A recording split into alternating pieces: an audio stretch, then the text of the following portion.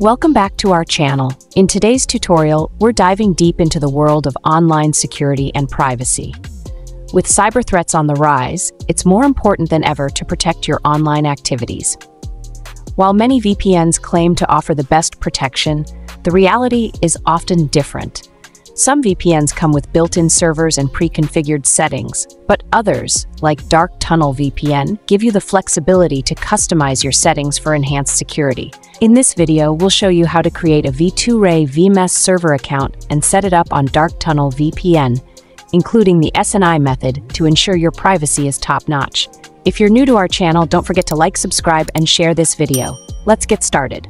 First, let's create a V2Ray VMess server account open any web browser on your device. In the search bar, type UDP Custom and hit enter. You'll see a list of search results. Click on the official UDP Custom website.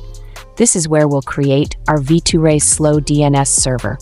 Once you're on the UDP Custom homepage, locate the menu icon, which may look like three horizontal lines, also known as a hamburger icon. It's usually in the top corner of the page. Click on it to reveal a list of options. From the list of options, click on V2Ray Slow DNS Server. This option allows you to create a V2Ray server that supports slow DNS. When you click, it will take you to the next page, where you'll be asked to select a server location. After selecting the location, you'll be redirected to an account creation page. Enter a username, solve the CAPTCHA to prove you're not a robot, and click Create Now. Within seconds, your server will be created and the server details will be displayed on the screen. Now that you have your V2Ray server details, it's time to set it up on Dark Tunnel VPN.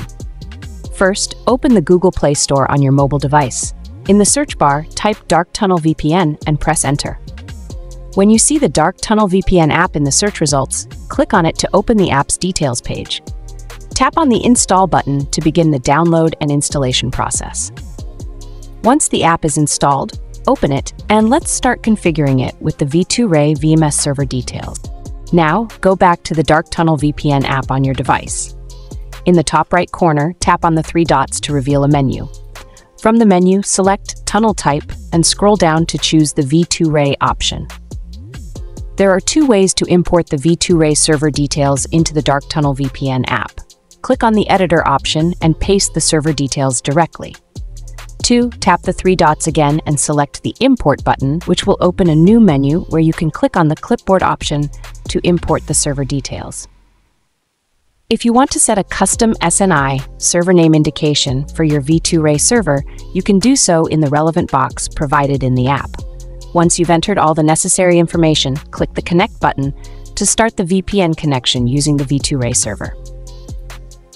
And that's it. You've successfully created a V2Ray server and set it up on the Dark Tunnel VPN app for enhanced security and privacy.